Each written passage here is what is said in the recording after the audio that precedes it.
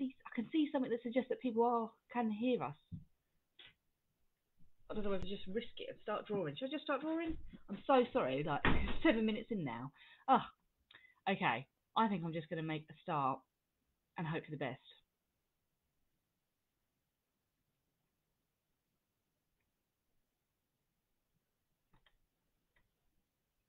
No comments yet, it's saying, right, and no viewers.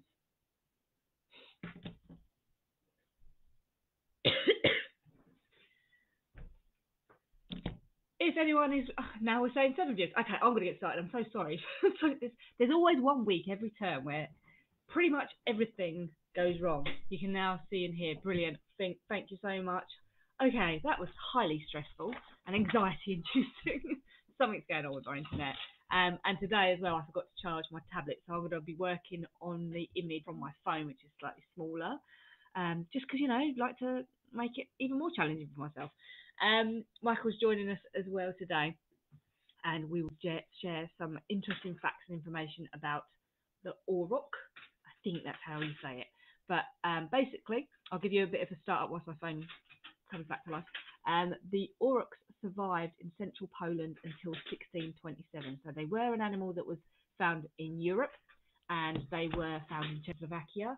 Um, they became extinct um, and the I think the last surviving auroch died in 1627, which is relatively recent in the scheme of things. It seems, although it's hundreds of years ago, it was still, in the scheme of things of animals going extinct, relatively recent.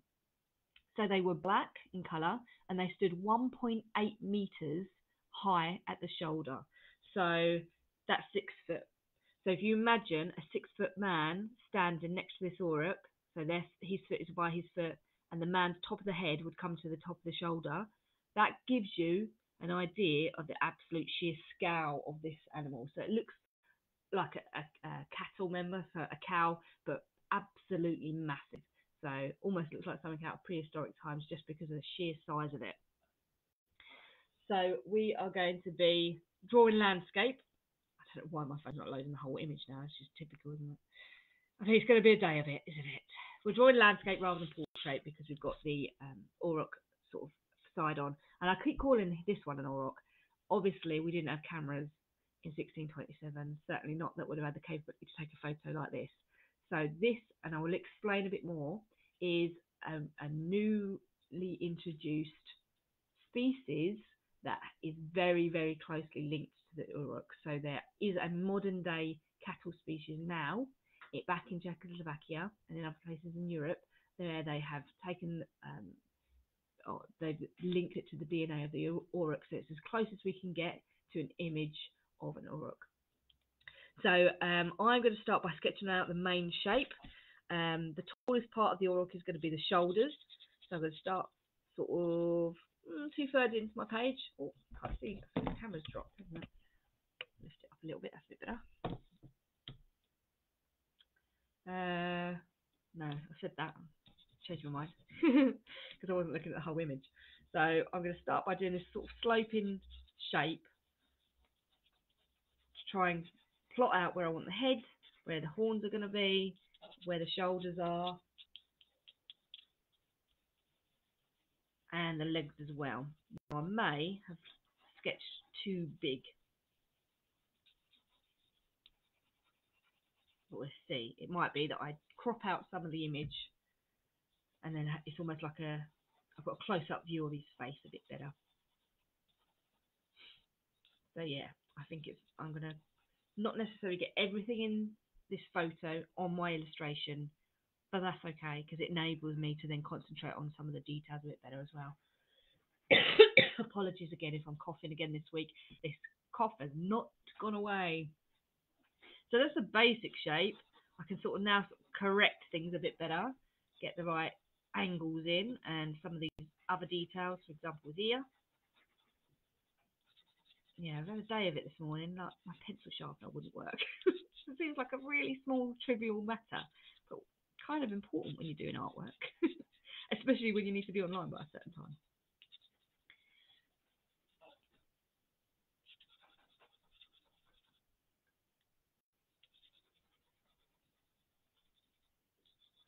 And something that's really the feature in this illustration is the muscles.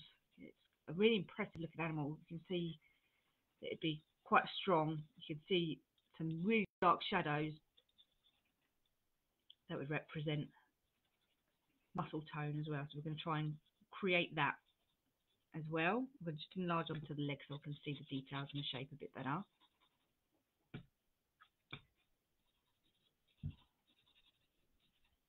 My picture crops off, so I won't be able to show all of the leg and the hoof. It'll just be the tops of the legs.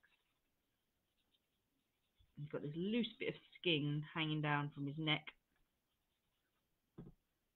I'm going to try and show that as well. So I've got the rough, started to get the rough shape. Now I can go into the face and get a little bit more detail. So obviously this is quite an important part of the animal.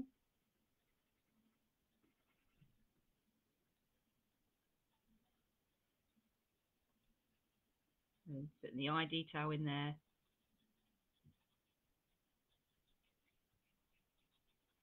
Nostril. I want to say muzzle, but it's not really a muzzle, is it? On a cow? Just to say his mouth.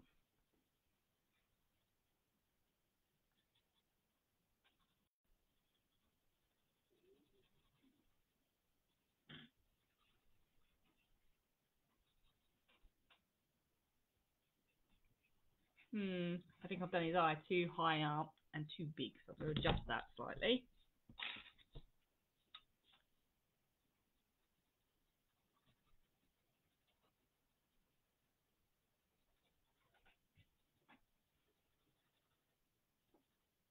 How are we all doing this morning? Has anybody else got this cold that's going around? I had one, got rid of it, and now I've got another. And this one's just loitering.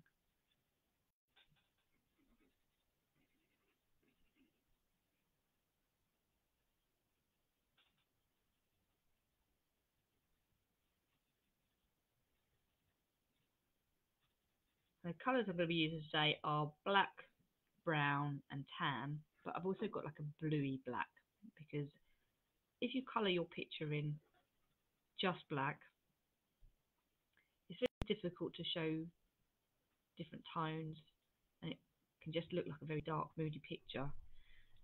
When you want to get the impression of a black fur, it's always suggested you start with blue undertones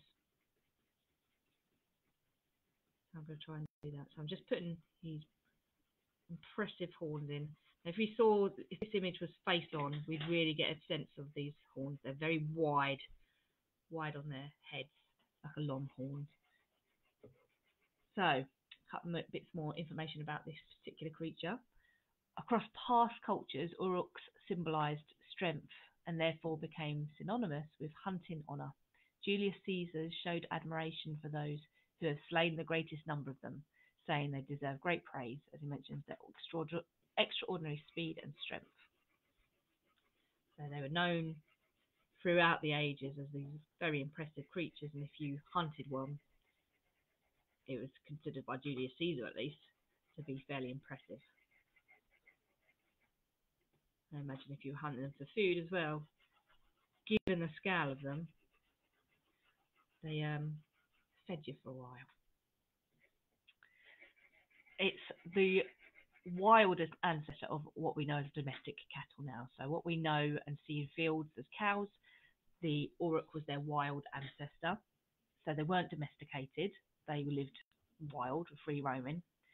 Um, and it was due to habitat limitation, as often is the case, isn't it, Michael, when we've been talking about what is threatening the species of an animal. Um, it's often our interference through habitat limitation and hunting. So again, us hunting them rather than any other animals hunting them um, is what sealed the fate of this wild bovine as human civilization expanded. So as humans started um, taking over and growing in numbers, obviously it had a negative impact on a lot of animals um, and it caused the aurochs to eventually go extinct in 16, what did I say, 1627. So today, strands of the DNA remain alive, distributed among a number of ancient cattle breeds that still exist across Europe. A Dutch breeding program has re- recreated massive bovines closely related to the aurochs. So these were once the heaviest land European land mammal. Um, it is believed that they disappeared from what is now the Czech Republic in the 12th or the 13th century. So although they were they were still in Poland until 1627, they actually went extinct from Czechoslovakia before that. But yes, it was 2015, so again, really recent. 2015, um, we uh, a Dutch breeding pro- program has successfully created an animal very closely linked to the Auroch, and that's probably what we are looking at now. I'm just going to check because I haven't had any new comments for a while. Is everything still working? Okay, I'm sure you're just busy sketching at the moment, but I just want to double check because we've had a few problems this morning.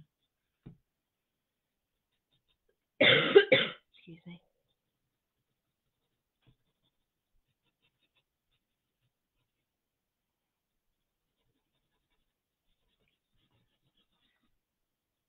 So if anyone is watching can just confirm that everything's okay still, that would put my mind at ease.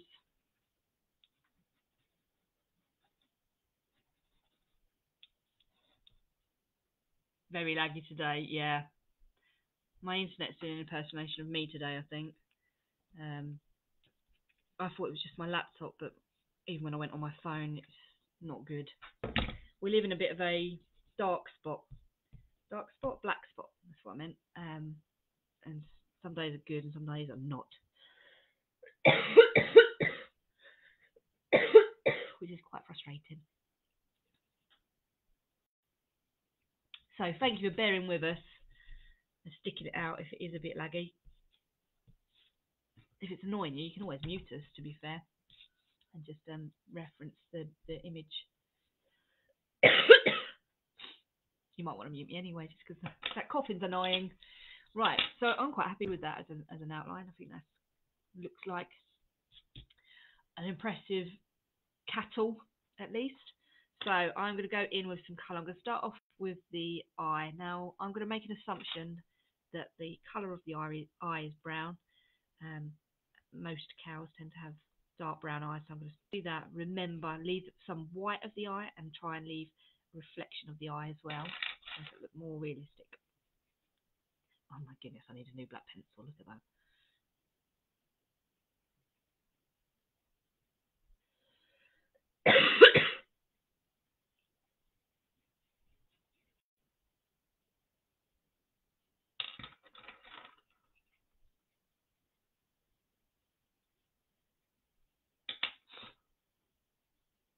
I can see Michael's already like practically finished. And um, he's adding in the grass as well, the background, which is something you can do. I'll see how I go for time.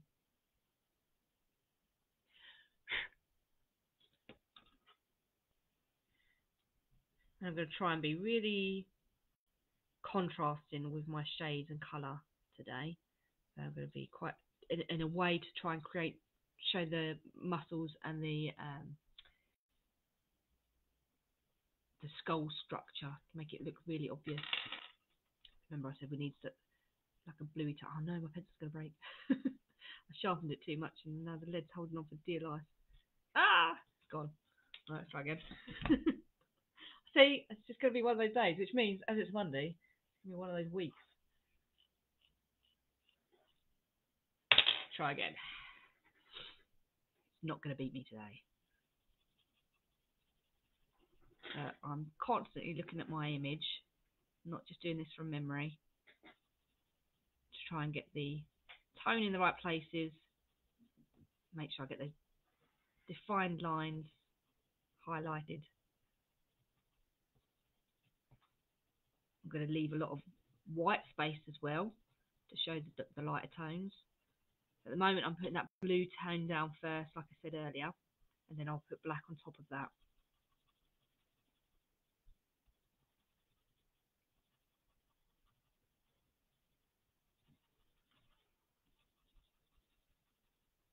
And there are some variations in his fur. If you look at his, is it fur or hair on a cow? I'm not sure. But you look around his ears and around the back of his neck, you can see that the fur or hair gets longer. So that's like what we've done when we've drawn other animals. Think about that with your pencil strokes to try and recreate longer fur or hair. Um, where you can see those changes in texture.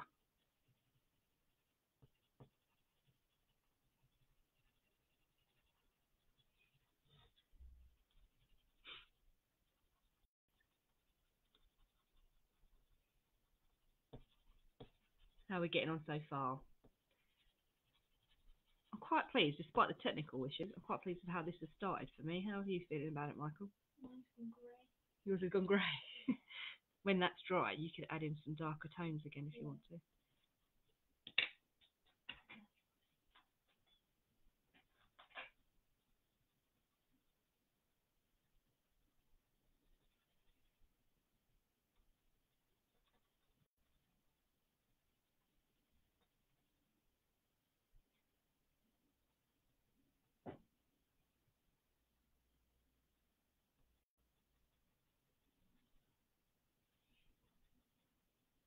It's coming together. Good, that's what we'd like to hear. I've got achy hand already.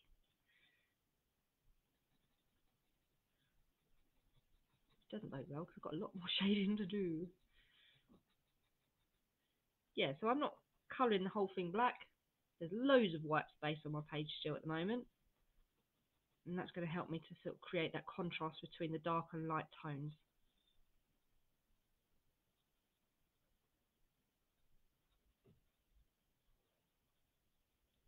And don't forget as well, I'm using watercolour pencil, so I'll be blending some of that out as well. So the white won't, there won't be as much white on the page once I'm done.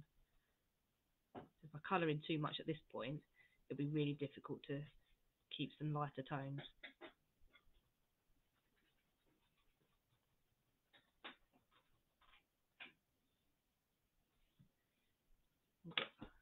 See some brown tones on the top of his head, so I'm going to add that around his horns.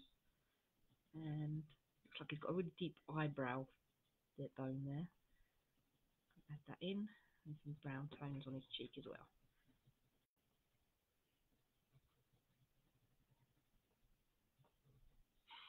Hmm, and now he's whatever it is, not a muzzle, mouth, nostril, that whole area. To start with the nostril because it's nice and dark, that's easy enough.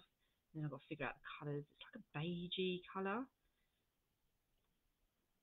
I've got a sandy colour. I'll try that around his nostril.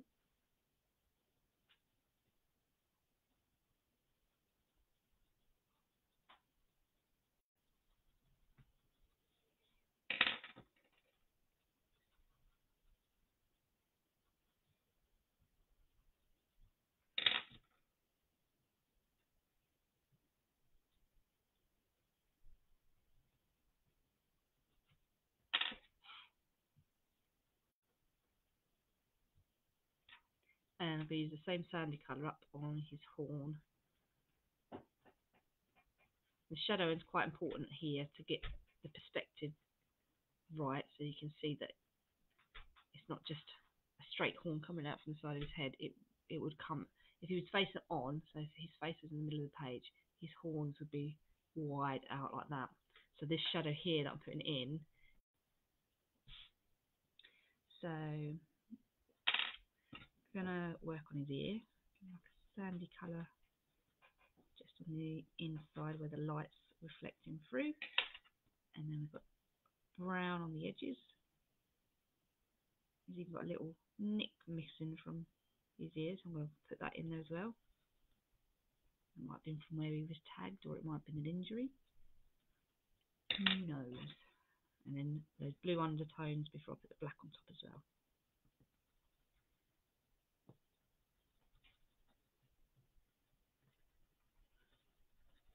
Mine is cute one. You like yours? It's cute.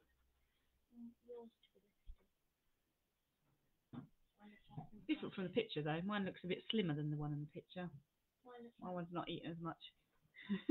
I think I've not done his jowl bit here low enough, so I might, looking at the picture, I might change that. Might add that in. There we go. Let's have a look at yours.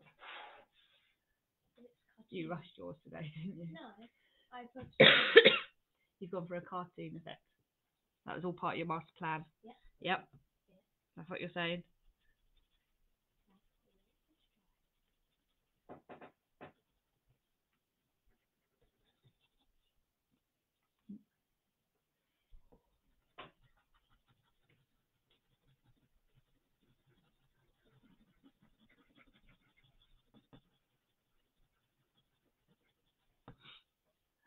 How we time? Half past already. Oh my goodness.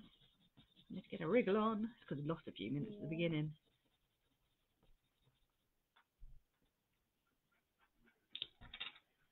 Brown up again. I imagine this is he's probably got brown fur throughout, but this is probably where the sun's reflecting off him. You can see it on the top of his head a bit better. And along his back as well, you can see sort of brown tones.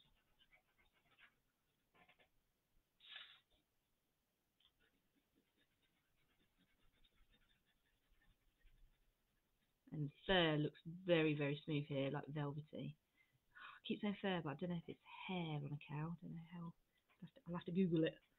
Um, so again, I'm going to try with a pencil to make it look velvety. So you're creating that texture. It's not just about the shape and the colour, but also the texture you're creating. So s- less obvious pencil lines around here compared to the neck where the fur is longer. I just made it look like fur. Whereas where the face is Oh, really yeah. like wet, it looks quite furry. So it's gone quite expressionistic now. Mine looks like green.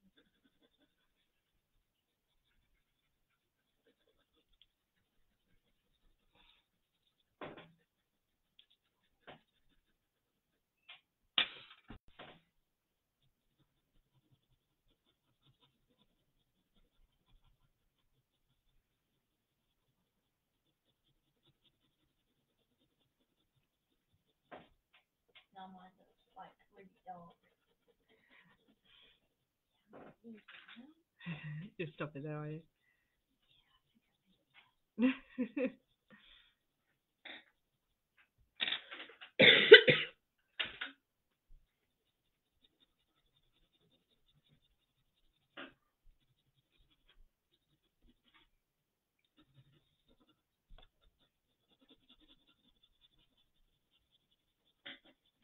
Is anybody else trying with the blue undertones before they put the black on? I would definitely recommend trying that technique if you haven't. You'll be surprised how it works.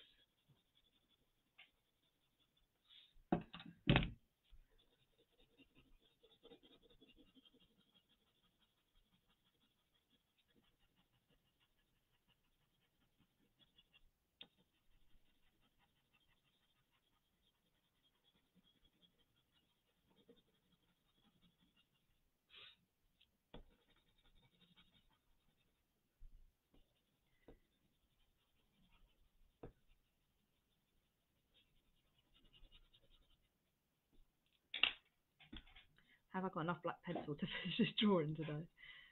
Definitely need to invest in another one. I have. I've overdone it.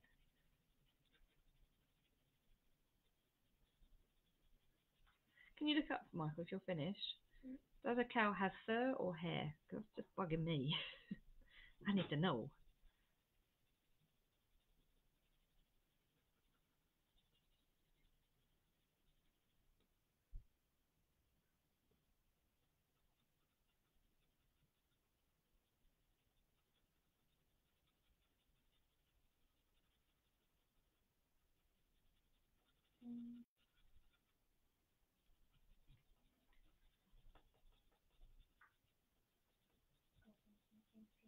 It is really slow today, isn't it? I'm, so sorry. If you're sticking with us, I'm impressed because I know how annoying it is when technology doesn't work quite the way you expect it to.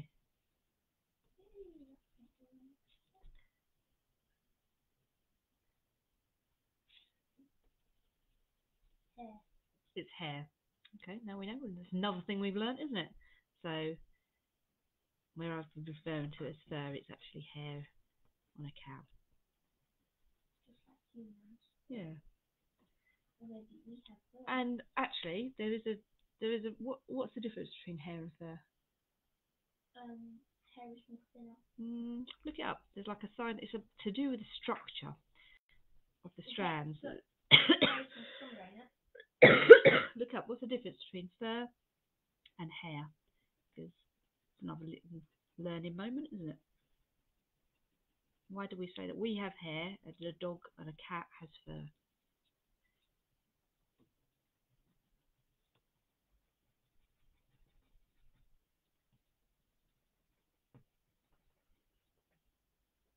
Hair is usually described as longer, thinner, often wavy or curly, and has longer growth cycle, while fur is described as shorter, denser, and has a short, shorter growth cycle, resulting in more frequent shedding. There we go. Hopefully you heard all that. So the main difference is that l- hair has a longer growth cycle, which means that your hair is growing, but a longer period before it sheds. Whereas, What we shed our fur? well, yeah, we do shed hair, Not but when you think Yeah. of your dog or cat, when they shed fur, they seem to do it all year round. yeah. So a shorter hair cycle, growth cycle, which is quite annoying if you're the one doing the hoovering all the time. I can get the dog to do So a cow does not shed as frequently as a domestic cat or dog. And fur tends to be denser, that's what it said, wasn't it? So hair is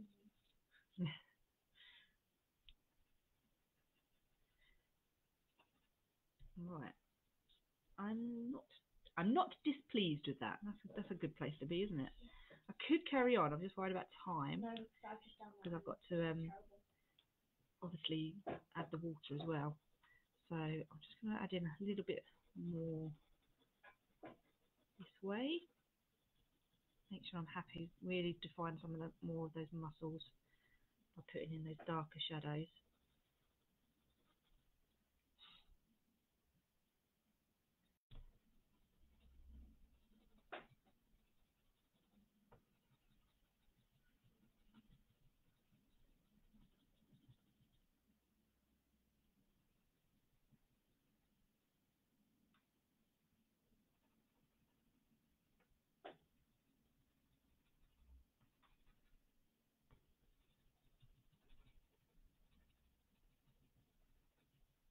Okay, I'm quite pleased with where that's at the moment, so I'm going to start with my paintbrushes. This is where it all goes wrong.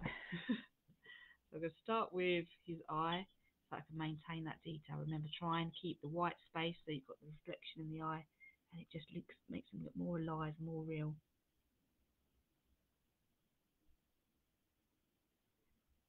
Remember, do not load your paintbrush up too much with the water because then it's really difficult to control the way it moves on your page.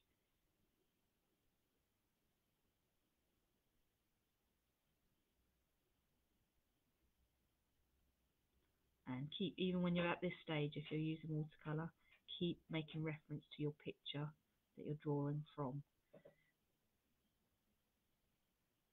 Because our memory plays tricks on us.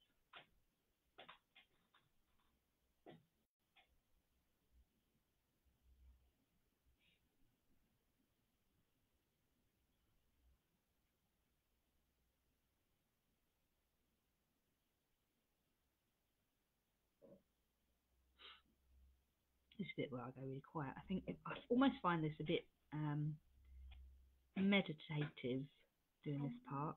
Yeah, I find it really relaxing and satisfying. So I go very quiet and into myself a bit with it.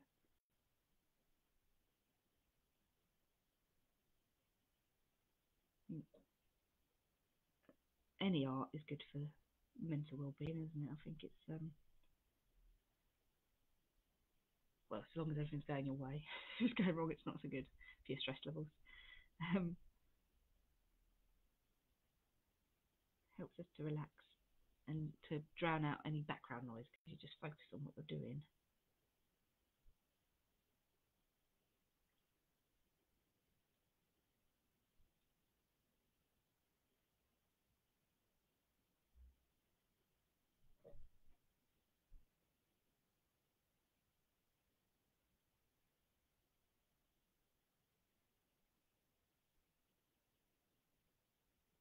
So though I had that blue undertone, you can't see the colour blue when I mix when I'm blending the colours together now. Clever.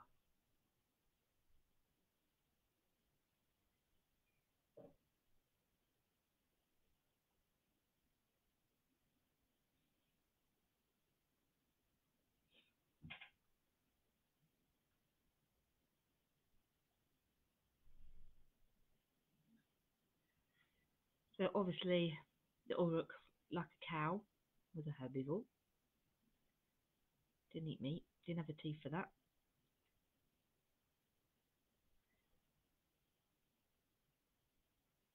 Because of his size and his strength, his only predators were humans hunting him.